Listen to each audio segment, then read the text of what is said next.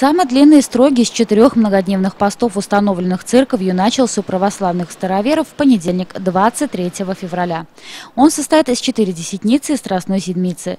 Великий пост у католиков и лютеран начался несколькими днями ранее, 18 февраля, а завершится 4 апреля. На следующий день, 5 апреля, весь католический и лютеранский мир отметит праздник Пасхи.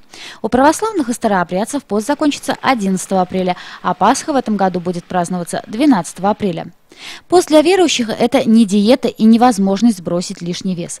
Для христиан это время духовного очищения, самопознания и покаяния. Церковь предлагает свой график поста по дням, но предупреждает, что главное – это духовный рост, добрые мысли и самоочищение. А медики, в свою очередь, предупреждают, что усердие не по разуму может серьезно навредить здоровью и советуют постящимся не забывать о здравом смысле. Традиция поста восходит к ранним христианам. Основным правилом у них было не есть более одного раза раза в день, воздерживаться от вина, сладкого и питательного, проводить день в уединении и молитве. Во время Страстной недели, последней недели перед Пасхой, вспоминаются Тайная вечеря, предание на суд, страдания и распятие, погребение Иисуса Христа. Традиционно в эту неделю идет подготовка к главному празднику Пасхи.